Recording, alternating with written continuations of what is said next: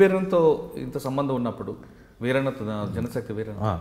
కానీ ఆయన తన చావు వెనక ఏమైందంటే ప్రకాష్ గారు ఉన్నారనేది ఒక ప్రచారం జరిగింది ప్రచారం కాదు. నా మీద చాలాసార్లు పదకొండు సార్లు దాడికి ప్రయత్నం చేశారు. పదకొండు సార్లు. ఈ దాడులు ఎవరైతే చేయించారో తర్వాత కాలంలో వాళ్ళే నాకు చెప్పారు. ఎందుకు నా దగ్గరకు వచ్చి అడిగారంటే ఇంత స్కెచ్ చేసినాక నువ్వు ఎట్లా ఎస్కేప్ అయినావు అని అడిగారు వాళ్ళు. అసలు వీరన్న మర్డర్ ఏం జరిగింది? ఏం జరిగిందంటే వీరన్న అడవిలో ఉండాలనేది ఒక నిర్ణయం తీసుకున్నారు. ఎప్పుడు? తెలంగాణ మహాసభ పెట్టిన తర్వాత. సూర్యాపేట సభ సభ తర్వాత. అడవిలో ఉండాలని ఒక నిర్ణయం తీసుకున్నారు ఏ దళాలన్నీ కలిసి. ఎందుకు అనంటే మాకు డైరెక్ట్ ప్రత్యక్ష నాయకత్వం కావాలి. అప్పుడు పద్నాలుగు దళాలు ఉండేది. వీరన్నతో వచ్చిన వాళ్ళు. ఇది రాజన్నను విభేదించి అదే. వర్గకుల సిద్ధాంతం అని చెప్పి. ఆ వచ్చి దాదాపు మెజారిటీ దళాలు వచ్చాయి. రాజన్నకు ఓన్లీ కరీంనగర్ కొంత ఖమ్మం ఆ ప్రాంతం కొంత ఆయనకు మిగిలింది. మిగతాదంతా వచ్చేసింది. వచ్చిన తర్వాత ఈ ఎప్పుడైతే తెలంగాణ మహాసభ పెట్టుకొని వీరన్న దానికి ఫైనాన్స్ చేయడము ఏ కార్యక్రమం ఉన్నా వీరన్నతోనే డబ్బులు తీసుకునేది చేసేది. అయితే ఆ టైంలో ఏమైందంటే ఈ కులవర్గ సిద్ధాంతాన్ని బాగా తీసుకొచ్చారు తెర మీదకి. తర్వాత వీరన్నకి వాళ్ళు ఏం అర్థం చేయించారంటే ఆ కులవర్గ సిద్ధాంతాన్ని ఎవరైతే చేశారో అసలు ఈ దీన్ని ముందు పెట్టుకొని పోవాలి నువ్వేం తెలంగాణ ముందు పెట్టుకొని పోతున్నావు అని ఆయనను బ్రెయిన్ వాష్ చేశారు. ఆయన కూడా దాని మీదనే ఎక్కువ ఫోకస్ ఓకే మే సెవెంటీన్త్ అనే ఒక డాక్యుమెంట్ అది ఒక క్రైటీరియాగా పెట్టుకొని దాని పేరే మే సెవెంటీన్త్ ఉద్యమం అని పెట్టారు వాళ్ళు. ఆ, ఇన్ఫ్లుయెన్స్ నుంచి వీరన్నను బయటికి లావడం నా వల్ల కాలే. చెరుకు సుధాకర్ వల్ల కాలే భరత్ కుమార్ వల్ల కాలే. మేమేమో స్ట్రాంగ్ తెలంగాణ వాదనం బెల్లయ్య నాయక్ అయితే ఇరిగేషన్లో ఇంజనీర్గా తుంగభద్ర ప్రాజెక్టులో పనిచేసేవాడు అనంతపూర్లో. రిజైన్ చేయించి తీసుకొచ్చాం. ఇప్పుడు కాంగ్రెస్లో ఉన్నాడు. అయితే మేము ఇంత త్యాగం చేసి తెలంగాణ కోసం మేము అంతా తెలంగాణ అంటుంటే నాకు వర్గకుల సిద్ధాంతం అని పట్టుకొని పోతున్నాడు అని చెప్పి మాకు కొద్దిగా డిఫరెన్సెస్ రావడం మొదలైనవి ఇక నేనేం చేసిన అంటే ఈ వర్గకుల సిద్ధాంతం అంటే వీళ్ళు తెలంగాణ కాడి కింద పెడతారు.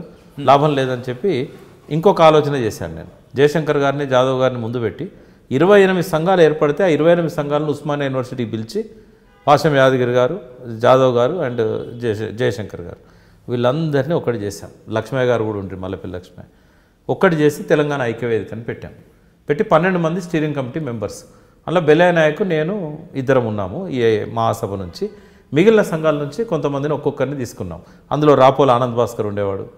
ఆ ట్వెల్వ్ మెంబర్స్ టీంలో. Advocate Rajavardhan Reddy BJP. Okay. అట్లే మురళీధర్ దేశపాండే. గడ్డం అవును. ఇట్లా జాదవ్ గారు జయశంకర్ గారు భూపత్ కృష్ణమూర్తి అరవై తొమ్మిదిలో ఉద్యమం స్టార్ట్ చేసిన ప్రతాప్ కిషోర్ రఘువీర్ రావు అందరినీ ఇక పాత కొత్త మేల్ కలయికలాగా పన్నెండు మందితో అది స్టార్ట్ అయింది. ఇక నేను ఈ వర్గ కుల సిద్ధాంతం వైపు నేను పోలే. నేను ఎప్పుడు మెంబర్ని కాదు జనశక్తిలో. వీరన్న దానిలో మెంబర్ని కాదు రాజన్న దానిలో మెంబర్ని కాదు. రాజేంద్ర కలవలేదు కలవలేదు. కానీ వీళ్ళతో బాగా ఈ రోజు వరకు కూడా రాజన్నను కలవలేదు. కానీ రాజన్నను కాపాడంలో నాది కీలక పాత్ర. ఓకే. లేకపోతే ఇవాళ రాజన్న మన ముందు ఉండేవాడు కాదు. ఇక్కడ మధ్యప్రదేశ్లో పట్టుబడ్డ రోజు ఎంత తప్పించిపోయినామంటే రాజన్నను కాపాడుకోవడానికి. చంద్రన్న అని ఆ పార్టీ కార్యకర్త తెలంగాణ భవన్కు పరిగెత్తుకుంటూ వచ్చి రాజన్నను పట్టుకున్నారు చంపేస్తారంటే కేసీఆర్ గారు ఏదో పని మీద ఉంటే అప్పటికప్పుడు ఆయన దగ్గరికి పోయి డీజీపీకి ఫోన్లు చేయించి ఎట్టి పరిస్థితుల్లో రాజన్నను చంపడానికి వీల్లేదు. మీకు చేతనైతే కోర్టులో ప్రొడ్యూస్ చేయండి తీసుకురండి హైదరాబాద్కి. నేను మాత్రం ఊరుకొని తెలంగాణ అగ్నిగుండం అయిద్దని చెప్పి ఆ కేసీఆర్ గారు వార్నింగ్ ఇచ్చారు. ఎంత ఆయన నిజంగా సింహగర్జన్ లాగానే మాట్లాడారు ఆయన. ఆ రోజు ఆయన కోపం ఆయన ఆవేశం చూస్తే అసలు తర్వాత అడిగా నేను ఏంది రాజన్న మీద మేము ఇట్లా అడగంగానే అంత రాజన్న ఎవరు అనుకుంటున్నావు? మా అన్నయ్యకి చాలా దగ్గర స్నేహితుడు. రంగన్న అని ఉండేవాడు కేసీఆర్ అన్న. రాజన్న ఎన్నోసార్లు మా ఇంటికి వచ్చి అన్నం తినిపోయాడు అక్కడ. రాజన్నకు మా కుటుంబ సంబంధాలున్నాయి మంచి మనిషి. అటువంటి కాపాడుకోవాలి. బలహీన వర్గాల నుంచి వచ్చి అంత గొప్పగా ఎదిగిన నాయకుడు ఎవరున్నారు? ఆయన మంచి ఇంజనీరింగ్ స్టూడెంట్గా ఉండి అందులో పోయిండు. కాబట్టి ఆయన ఉండాలి అని చెప్పి నిజంగా కేసీఆర్కు హైట్స్ ఆఫ్. రాజన్న అనేవాడు బతికున్నాడు ఇవ్వాలంటే బికాజ్ ఆఫ్ కేసీఆర్. ఆ రోజు ఆ రోజు ఆయన డీజీపీని హెచ్చరికలు ఏదైతే చేశాడో ముఖ్యమంత్రి కోసం కూడా ఆయన ట్రై చేశాడు. చంద్రబాబు నాయుడుకు "ఆ, మీరు చెప్పండి నేను ఆయన నన్ను కాల్ చేయ లేకపోతే నా కాల్ ఆయనకి ఇవ్వండి నేను మాట్లాడతాను. అని చెప్పి అక్కడ అక్కడి పోయిన వాళ్ళు ఎవరు? మన పోలీసులే. ప్రాణాలతో తీసుకురండి అని చెప్పి తెలంగాణ అగ్నిగుండం అయిద్దని చెప్పి వార్నింగ్ ఇచ్చాడు. ఇది ఎప్పుడు అంటే టూ థౌజండ్ ఫోర్ ఆ ప్రాంతంలో. ఓకే. సార్ దీనికన్నా ముందు మీరు చెప్తున్నట్లుగా వీరన్నది ఒకటి. విభేదం. ఆ, వీరన్నది ఏంటంటే సందర్భం వచ్చింది కాబట్టి అవన్నీ చెప్పాల్సి వచ్చింది. వీరన్నది ఏంటంటే కులవర్గ సిద్ధాంతం ఎప్పుడైతే మొదలుపెట్టాడో రాజన్న వీరన్న సపరేట్ అయిపోయారు. ఈ తెలంగాణ ఉద్యమం పట్ల వాళ్ళ ఇంట్రెస్ట్ తగ్గింది. ఒకరోజు నన్ను చాలా ఇబ్బంది పెట్టాడు వీరన్న. ఏమైందంటే డిసెంబరులో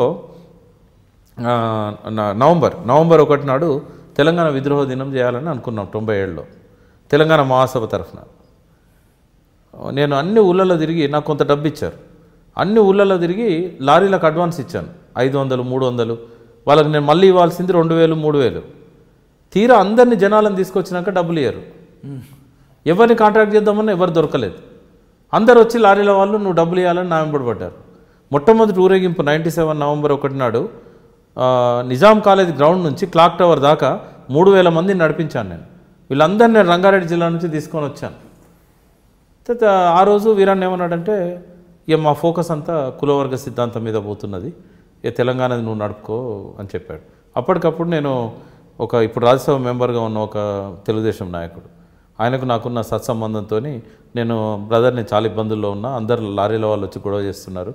అర్జెంటుగా నాకు ఒక యాభై వేలు పంపించమంటే ఆయన ఒక గంట లోపల యాభై వేలు పంపించాడు. ఆ డబ్బులు ఇచ్చి నేను దాని నుంచి బయటపడి ఇక తెలంగాణ మహాసభొద్దు వద్దు వీరన్న వద్దు ఎవరొద్దు అని నేను డిసైడ్ చేసుకున్నాను చేసుకున్న తర్వాత నేను జయశంకర్ గారితో కలిసి దాదాపుగా వెయ్యి పదిహేను వందల మీటింగ్స్ మేము తెలంగాణలో పెట్టాం. ఈ వీరన్నతో నేను కలవడం కూడా ఆపేశాను. ఫారెస్ట్లో రాము ఉండేవాడు. సీతక్క భర్త ఇప్పుడు ఆయన విడాకులైన వాళ్ళకి. ఆ సీతక్క అడవిలో నుంచి బయటకు వచ్చే ముందే రాముతో విడాకులు తీసుకున్నది. తర్వాత ఆయన మళ్ళీ వేరే పెళ్ళి కూడా చేసుకున్నాడు. వాళ్ళకు ఒక కొడుకు కూడా పుట్టాడు. అయితే ఆ రాము మా ప్రాంతం వాడు. ములుగు తాలూకా కొత్తగూడెం ములుగు నియోజకవర్గంలో కొత్తగూడెం ఉంటుంది. చిన్న పశువులు కాస్తూ అడవిలో పోయాడు. చాలా నిజాయితీ గలవాడు. నేనంటే ఆయన ప్రాణం ఇచ్చేవాడు ఆయన అంటే నేను ప్రాణం ఇచ్చేది. అంత సన్నిహిత సంబంధాలు మా మధ్య ఉండేది. అయితే ఆయన చాలా జెన్యున్ ఉండేవాడు ప్రతిదాన్ని క్వశ్చన్ చేసేవాడు. కానీ సిద్ధాంతపరంగా కులవర్గ సిద్ధాంతం ఆయనది. నేను తెలంగాణ మూమెంట్లో ఉండేది ఆయన కులవర్గ సిద్ధాంతంలో ఉండేది. కానీ ఫ్రెండ్షిప్ ఉంటుంది ఫ్రెండ్షిప్ ఉండేది. అయితే వీరన్నతో కూడా నాకు ఫ్రెండ్షిప్ ఉండేది. ఎంత క్లోజ్ ఫ్రెండ్షిప్ అంటే సిద్ధాంతాల్లో విభేదం విభేదం కూడా నేను ఆయన దగ్గర చెప్పలే. నేను అన్నా ఇక నువ్వు దాని మీద కాన్సన్ట్రేట్ చేస్తున్నావు కదా నువ్వు అది చేసుకో. నేను ఐక్య వేదిక నేను నడుపుకుంటా. ఎందుకంటే నేను నీ పార్టీ మెంబర్ని కాదు. నీ నిర్మాణంలో లేను. నా మీద నువ్వు ఇంపోజ్ చేయలేవు. నువ్వే మొదలు పెట్టించావు కదా తెలంగాణ. ఇది నేను నడుపుకుంటా. అది నువ్వు నడుపుకో. కానీ ఫ్రెండ్లీగా మధ్య ఏమైందంటే ఈ రాము చెప్పండి ఏం కాదు. ఎవరైనా ఇంజూర్ అయినప్పుడు నా హెల్ప్ తీసుకునేవాడు. అచ్చా. ఒక డాక్టర్ను పంపించడం కానీ ఆ ఇంజూర్ అయిన వాడిని తీసుకొచ్చి హాస్పిటల్లో ట్రీట్మెంట్ ఇప్పించి పంపించడం కానీ అట్లా నేను చాలామందిని సేవ్ చేయగలిగాను. హైదరాబాద్లో ట్రీట్మెంట్ ఇప్పించి ఇవన్నీ కూడా. ఉన్నాయి పోలీస్ రికార్డులో అన్నీ ఉన్నాయి. కాకపోతే నా పట్ల పోలీసులో ఒక సానుభూతి ఏముండేదంటే ఈయన నక్సలైట్లో మార్చడానికి ప్రయత్నం చేస్తున్నాడు. ఇతను హింసను ఎంకరేజ్ చేయట్లేదు. పోలీసుల మీద దాడులను కూడా నేను వ్యతిరేకించాను. కాబట్టి నా రికార్డ్స్ అన్నీ వాళ్ళ దగ్గర సాఫ్ట్ కార్నర్ ఉంది. డంపులు అన్నీ దొరికాయి. నేను ఇచ్చిన స్పీచ్లు కూడా దొరికాయి. పద్నాలుగు రోజులు నేను ఇచ్చిన స్పీచ్లు అన్నీ ఒక ఎస్పీ గారికి దొరికాయి. ఆయన అన్నాడు నీ స్పీచ్లు అన్నీ విన్నామాయా నేను తీసుకుపోయి కేసులో పెట్టాల్సింది కానీ నువ్వు మాట్లాడిన మాట్లాడి మాకు నచ్చినాయి అని చెప్పి అన్నాడు అంటే నేను ఒక మంచి కోసం చేశాను.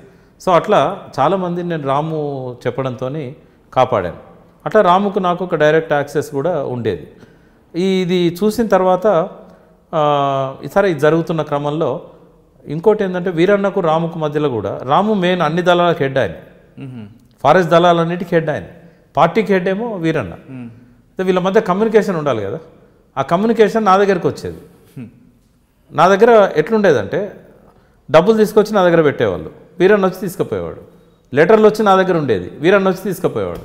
వీరన్న మనిషి కానీ వీరన్న కానీ ఇట్లా జరుగుతున్నప్పుడు ఏమైందంటే కొన్నిసార్లు డబ్బులు నా దగ్గరే ఉండేది. పది లక్షలు ఇరవై లక్షలు. నా దగ్గర ఉన్నప్పుడు వీరన్న చిట్టీలు రాసి పంపేవాడు. అంటే సంఘటన దీనికి సంబంధం ఉంది కాబట్టి చెప్తున్నా. సంజయ్ రెడ్డి అని ఉండేవాడు వీరన్న కొరియర్. అట్లా ఇంకా వేరే కొరియర్స్ కూడా ఉండేది. అయితే మేమేం దీని దగ్గర పోయి పైసలు అడుక్కోవడం అనే ఫీలింగ్ వచ్చింది వాళ్ళకి. ఫస్ట్ తెలంగాణ మహాసభ అప్పుడే వచ్చింది. తెలంగాణ మహాసభ అప్పుడు కూడా డబ్బులు నా దగ్గరనే పెట్టాడు వీరన్న. లారీలకు డబ్బులు వేయడానికి ఈ కార్యకర్తలు అంతా వచ్చి లారీలకు డబ్బులు వేయడానికి నా దగ్గర అడుక్కుపోయేవాళ్ళు. ఈయన దగ్గర మనం పోయి ఈయన ఎప్పుడు వచ్చిండు మనం ఎప్పుడు వచ్చినాం ఇరవై ఏళ్ళ నుంచి వీరన్నతో ఉన్నాము. ఈయన ఏంది మనల్ని ఆయన దగ్గర పోయి డబ్బులు అడుక్కోమంటాడు అనే ఒక ఈగో డెవలప్ చేసుకొని మొత్తం నాకు అగెనెస్ట్గా కత్తి కట్టడం మొదలుపెట్టారు. వీరన్నకి లేదు అది. ఒకరోజు వీరన్న రాజేంద్ర నగర్లో ఒక సమావేశం ఉంది. నీ సలహా కావాలి రావాలంటే నేను అన్న నువ్వు అండర్ గ్రౌండ్లోకి వెళ్ళిపోయినావు. నేను బయట ఉన్నా నేను రావడం బాగుండదు. లేదన్నా ఖచ్చితంగా నువ్వు రావాలి మాట్లాడాలని పిలిచాడు. ఈ ఎన్కౌంటర్ కంటే ఒక మూడు నెలల ముందు. పోయినప్పుడు మాటల సందర్భంగా నేను అన్న భయమవుతుంది వీరన్న ఏ రోజు పొద్దున పేపర్లో నీ చావు వార్త వస్తుందని భయమవుతుంది నిన్ను అడవిలోకి రమ్మని వాళ్ళు తీర్మానం చేస్తే నువ్వు ఇక్కడ నుండి అని అన్నాడు. అంటే ఒక చిన్న పర్సనల్ సమస్య ఉంది. ఆ సమస్య కోసం నేను ఇక్కడ ఉండాల్సి వస్తున్నది. ఇది పరిష్కారం కాగానే పోతా అన్నాడు. ఇక్కడ ఉంటే మాత్రం నువ్వు దొరికిపోతావు. ఇక్కడ నువ్వు అందరికీ తెలిసిన ప్రజానాయకునివి. పీడిఎస్యూకు రాష్ట్ర అధ్యక్షునిగా చేసావు. బీడీ కార్మిక ఉద్యమం నడిపావు. అందరూ గుర్తుపడతారు నిన్ను. ఫస్ట్ నువ్వు షెల్టర్స్ మార్చుకో. ఎక్కడుంటున్నావు అంటే ఇదివరకు ఉన్న కాడనే అన్నాడు. ఇదివరకు ఉన్నది రామ్నగర్లో. రామ్నగర్ అంతా తెలంగాణ వాళ్ళు ఉండేది. నువ్వు ఇక్కడ ఉంటే ఎట్లా? ఏ రాత్రి అయినా నేను గుర్తుపడతారు. నువ్వు మార్చు అని చెప్పాను. సరే మారుస్తా అన్నాడు. తర్వాత ఎట్లా జాగ్రత్తగా ఉండాలో మొత్తం నేర్పించాను. చెప్పి నేను ఆయన ఏదో సలహా అడిగాడు ఇచ్చాను నేను అక్కడి నుంచి వెళ్ళిపోయినాను. అంటే వాళ్ళ యూజీ నిర్ణయాల ప్రకారం ఏంటంటే నేను ఫైవ్ మినిట్స్ కోసం వచ్చినా కూడా ముందు ఆ నాయకుడు పోయినాక నేను పోవాలి. కాబట్టి ఆరు గంటల దాకా నన్ను ఇంట్లో పడుకోబెట్టారు. వాళ్ళు పార్టీ మీటింగ్ నడుపుకున్నారు. వీరన్న పోయినాక ఒక గంటకు నన్ను బయటికి పంపించారు. అది రూల్ అట్లే ఉంటుంది. పోయినాక ఇక మళ్ళీ నేను వీరన్న చూడలే. దట్ వాజ్ ద లాస్ట్ అయితే రెండు సందర్భాలు నా నోటీస్కి వచ్చినాయి. ఒకరోజు ఉస్మాన్ యూనివర్సిటీలో ఆయన టూ వీలర్ మీద వస్తూ ఆయనకి చిన్న లూనా ఉండేది. ఆ మోపెడ్ అంటారు కదా? Moped TVS moped. మీద వస్తూ పట్టబగలు ఒక పోలీస్ కానిస్టేబుల్ సైకిల్ మీద పోతుంటే డాష్ ఇచ్చాడు. ఆయన గల్ల పట్టుకొని పోలీస్ స్టేషన్ తీసుకుపోతున్నాడు. అప్పుడు మాజీ పీడిఎస్ నాయకుడు ఒక ఆయన కారులో పోతూ ఆయన ఆపి వాడికి డబ్బులు ఇచ్చి ఎందుకంటే తీసుకుపోయి చంపేస్తారు. అప్పటికి పదకొండు మందిని ఒకటే రోజు చంపేసి సిరిసిల్ల దగ్గర వీరన్న తప్పించుకున్నాడని స్టేట్మెంట్ ఇచ్చారు. అంతకుముందే చెప్పిన నేను నువ్వు తప్పించుకున్నాడు అని అంటేనే నెక్స్ట్ టార్గెట్ నువ్వు. రాజేంద్ర నగర్లో కలిసినప్పుడు చెప్పాను సో నువ్వు నిన్ను వెంటాడుతున్నారు. అయితే ఆ పోలీస్ స్టేషన్ పోకుండా ఆయన కాపాడి పంపించి నాకు ఫోన్ చేసి చెప్పాడు. అప్పుడంతా ల్యాండ్ లైన్లో పేజర్స్ ఉండేది. పేజర్లో ఆయన ల్యాండ్ లైన్ నంబర్ ఇస్తే నేను ఫోన్ చేస్తే ఏ వీరన్ ఏంది ఇంత పిచ్చిగా ఉస్మాన్ యూనివర్సిటీలో ఇట్లా మోపెడ్ మీద పోతున్నాడు? ఆ నక్సలైట్ల కోసం వెంటాడుతున్నది అక్కడ అందరు పోలీసులు ఉంటారు. పోలీస్కే టక్కర్ పెట్టాడు. అంటే తర్వాత నేను చిట్టి రాసి పంపించా. ఇట్లా పద్ధతి కాదని. ఇంకొక రోజు ఏమైంది? అడిక్మెట్లో ఈయన ఇరానీ కేఫ్లో పట్టబగటిల్లి టీ తాగుతుండేవాడు. ఇవన్నీ చెప్పండి. ఎందుకు అనంటే తెలియాలి అందరికీ. ఇరానీ కేఫ్లో టీ తాగుతూ ఆ ఇరానీ కేఫ్ ఎట్లుంటుందంటే జాలి ఉంటుంది ఇట్లా. అయితే రోడ్ వెంబడి ఒక ఎస్ఐ మఫ్టీలో పోతూ సడన్గా ఈయన చూసి లోపలికి వచ్చి ఈయన పక్కన కూర్చున్నాడు. కూర్చోగానే "ఆ, బాగున్నావా? అది ఇది అని మాట్లాడుకున్నారు. ఎందుకంటే ఆయన యూనివర్సిటీలో ఆయన శిష్యుడు పీడిఎస్యూలో. చాలా లాంగ్ గ్యాప్ వచ్చింది ఆయన పోలీస్ అయింది కూడా నాకు తెలియదు అయితే వాళ్ళిద్దరు మాట్లాడుకున్న మాటల్ని అంతకుముందు వీరన్న నాకు చెప్పాడు. ఇట్లా మొన్న క్షణంలో తప్పించుకున్నా నేను ఇట్లా అయింది అని. అయితే అంత అంటే ఆయన చనిపోవడానికంటే వన్ ఇయర్ బిఫోర్ ఇది జరిగింది. ఏంది అని అంటే ఏం చేస్తున్నావు అని అడిగితే నేను వీరన్న అనే ఒక నక్సలైట్ నాయకుని కోసము పట్టుకోవడానికి నాకు స్పెషల్ డ్యూటీ ఇచ్చారు. ఆ, డ్యూటీలో ఉన్న ప్రస్తుతం అని అన్నాడు ఆయన. అందుకే మఫ్టీలో తిరుగుతున్నా. ఈ రామ్నగర్ ఏరియాలో వీరన్న బాగా తిరుగుతాడట కదా అని వీరన్నతోనే అన్నాడట. అంటే ఆయన పేరు వీరన్న తెలీదా? తెలుసు. హెల్ప్ చేయాలనుకున్నాడు. ఓకే. అంటే షాక్ అయ్యండి. లీడ్ ఇచ్చాడు. షాక్ అయ్యండు నిజమా నువ్వు చెప్పేదంటే నేనే నేనే నీకోసం డ్యూటీ చేస్తున్నా. నువ్వేంది పిచ్చి పిచ్చిగా డే టైంలో వచ్చి ఇరాని కేఫ్లో కూర్చొని ఛాయ్ తాగుతున్నావు? ఎవరికో కాంటాక్ట్ పెట్టి కూర్చున్నాడు ఆడ ఆయన మంచిదన్న నేను జాగ్రత్తగా ఉంటా అని చెప్పి వెళ్ళిపోయాడు. మూడోసారి ఏమైందంటే ఉస్మానియా యూనివర్సిటీ ఏంటి ఉస్మానియా కాదు కోటి ఆ, బ్యాంక్ స్ట్రీట్లో ఈఎన్టీ హాస్పిటల్ ఉంది. దాని యువతల ఫిరోజ్ గాంధీ పార్క్ ఉంది. ఆ పార్క్లో డే టైంలో కూర్చొని పుస్తకం చదువుకుంటూ కూర్చున్నాడు. దానికి మూడు దిక్కుల నుంచి రోడ్డు ఉంటుంది. ఆ రోడ్లో ఒక కార్యకర్త పోతూ పోతూ వీరన్నను చూసి ఏంది ఇక్కడ నువ్వు? అని అంటే ఒక కాంటాక్ట్ పెట్టిన ఆయన కోసం కూర్చున్నా. ఇదంతా చనిపోవడానికంటే మూడు నెలల ముందు జరిగినాయి. ఆయన వెంటనే ఆయనను తన బండి మీద కూర్చోబెట్టుకొని ఏదో రహస్య ప్రదేశాన్ని తీసుకుపోయి అక్కడ నువ్వు ఉండు నేను ఆయన అక్కడ పోయి నేను కూర్చొని పట్టుకొస్తా అని చెప్పి ఆయనకు అప్పచెప్పి ఆ రోజు సేవ్ చేశాడు. అయితే ఆయన నాకు చెప్పాడు. ఇవన్నీ నేను రాజేంద్ర నగర్లో కలిసినప్పుడు చెప్పా. నువ్వు ఈ మూడు సన్నివేశాలు చెప్పా. అవన్నీ అప్పుడు అంతకంటే ముందు జరిగినాయి. ఇట్లుంటే నిన్ను మేము ఎట్లా కాపాడుకోవాలి? ఏదో ఒక రోజు నీ చావు వార్త పేపర్లో వస్తుంది నీకు ఇష్టమా అది? అని చెప్పి నేను బాగా కోపం చేసిన. అందరు ఉన్నారు. ఆయన రియలైజ్ కాలే. కాకుండా వారిస్గూడలో అంటే ఆయన చనిపోయిన రోజు జరిగిన ఇన్సిడెంట్ ఏంటంటే అది కూడా నేనే బయటికి తీశాను. చనిపోయిన రోజు అడిక్మెట్ దగ్గర నేరెడ్మెట్ నేరేడ్మెట్ ఉంది కదా? అడిక్మెట్ కాదు నేరెడ్మెట్ నేరెడ్మెట్ దగ్గర వినాయక నగర్ అని ఉంది. అక్కడ ఒక ఇరానీ కేఫ్లో టీ తాగుతూ కాంటాక్ట్ పెట్టాడు ఆయన కొరియర్కి. సిద్ధేశ్వర్ అని ఆయన కొరియర్ అప్పుడు. ఇద్దరు టీ తాగుతుంటే బయట పోలీస్ వ్యాన్ వచ్చి ఆగింది. అంటే అది అందులో ఉన్న వాళ్ళందరూ బలిష్టంగా ఉన్నారు. అది మారుతి వ్యాన్. అయితే మారుతి దీనిలో ఎదురెదురు సీట్లు ఉంటాయి కదా? ఆ వ్యాన్ అన్నట్టు. అయితే అందులో వాళ్ళు ఈయన దిక్కు చూస్తూ హోటల్ దిక్కు చూస్తూ దూరాన ఆపారు. ఆపిన తర్వాత వెంటనే కొరియర్తో మన వెనకాల పడ్డారు. ఇక్కడి నుంచి మనం తప్పుకోవాలా అని చెప్పి బయటకు వచ్చి సందుల్లో నుంచి వ్యాన్ బోని సందుల్లో నుంచి బయటపడ్డారు. బయటపడి ఆ సఫీల్ కూడా చెరువు కట్ట అదంతా ఈ కొరియర్ చెప్పిన స్టోరీ. అక్కడ నుంచి ఆ సఫీల్ కూడా అవన్నీ తిరిగి ఇక లాస్ట్ మన వెనకాల ఎవరు లేరు వాళ్ళని మనం కళ్ళు కప్పాం అని చెప్పి నువ్వు ఇటుపో నేను అటుపో అని అక్కడ నుంచి ఒక ఆటో తీసుకొని ఆటోలో వీరన్న నేరేడ్మెట్ వైపు పోయాడు. ఆయన అప్పుడు నేరేడ్మెట్లో ఉంటుండట. చనిపోయిన తర్వాత తెలిసింది. నేరేడ్మెట్ బస్ స్టాండ్ పోయేసరికి ఈ వ్యాన్ ఆటోని ఫాలో అయింది. ఫాలో అయ్యి ఆటోలోకి వెళ్ళి వీరన్నను లాగి వ్యాన్లో వేసుకున్నారు. అప్పుడు అక్కడ ఒక ప్యాసింజర్ కండక్టర్తో గొడవ పడుతున్నాడు. జనం బాగున్నారు అక్కడ. అయితే ఈయన బాగా అరిచాడు. జనం అందరూ చూశారు. ఒక షాప్ వాడు మయూరి క్లాత్ స్టోర్ అని దాని పక్కనే ఉంటుంది. వాళ్ళు ఏం చేశారంటే ఇద్దరు అన్నదమ్ములు. ఆ కరెక్ట్గా వీరన్నను కిడ్నాప్ చేసిన టైంకి ఈ అవుటర్ రింగ్ రోడ్డు ఏరియాలో రా- ఈ ఏరియాలో ఒక వ్యాపారస్తుని కిడ్నాప్ చేసి ఇంకప్పటికి రిలీజ్ చేయలేదు. డబ్బుల కోసం. అది పేపర్లలో హెడ్లైన్స్లో వస్తున్నది. గుర్తుండాలి మీకు. హైదరాబాద్ సిటీలో ఒక బాగా సంచలనమైంది. తర్వాత డబ్బులు తీసుకొని వదిలేశారు. సరిగ్గా ఆ టైం అన్నట్టు ఇది ఒక మూడు రోజుల ముందు ఇది. ఆయన కిడ్నాప్ చేసింది May sixteenth nineteen ninety nine. ఈ ఇన్సిడెంట్ అప్పుడే జరిగింది ఇది ఒక మూడు రోజుల ముందు. ఆ షాప్ వాళ్ళు ఏమనుకున్నారంటే ఇది కూడా అట్లాంటి కిడ్నాపే డబ్బుల కోసం అని చెప్పి ఆ వ్యాన్ను చేంజ్ చేయడం మొదలుపెట్టారు.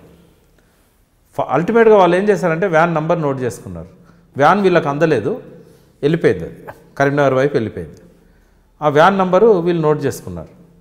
అయితే తెల్లవారి పొద్దున్నే పేపర్లో చూసేసరికి వీరన్న ఎన్కౌంటర్లో కథమని వచ్చింది. ఈనాడులో వచ్చింది. వెంటనే నేను ఫస్ట్ బాలగోపాలకు ఫోన్ చేశాను ఇట్లా వీరన్నను చంపేశారు అంటే అవునా అని అప్పటికి లేవలే ఇంకా ఆయన. Six o'clock. చూసి కరెక్టే ఏం చేద్దాము? ఏం చేయమంటావు అన్న. ఇట్లా నేను డెడ్ బాడీని తీసుకురావడానికి పోవాలనుకుంటున్నా అంటే ఆయన ఏమన్నాడంటే అందరు పోతారు కదా నువ్వు పోయి ఏం చేస్తావు ఈ సాక్ష్యాలు మనకి ఇప్పుడే దొరుకుతాయి నువ్వు ఎక్కడ కిడ్నాప్ అయ్యిండు ఎంబడి ఎవరు ఉండో వాళ్ళ ద్వారా మొత్తం వివరాలు తెలుసుకొని నువ్వు వీలైనంత వరకు ఆ మోడస్ ఆపరేందిని బయటపెట్టే ప్రయత్నం చేయని Balagopal For more videos, subscribe to iDream.